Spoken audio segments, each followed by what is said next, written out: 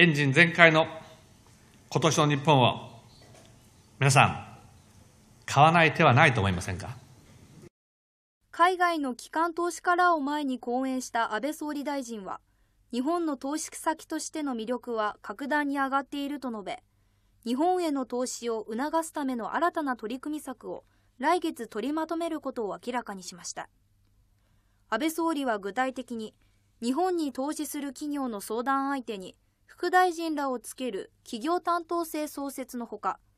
海外の企業が本社や研究拠点を日本国内に置きやすいよう地方空港でのビジネスジェットの受け入れ環境の整備を挙げています。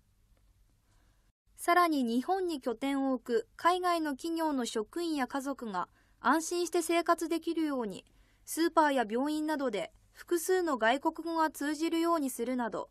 外国企業が日本に進出しやすい環境の整備に力を入れる考えです。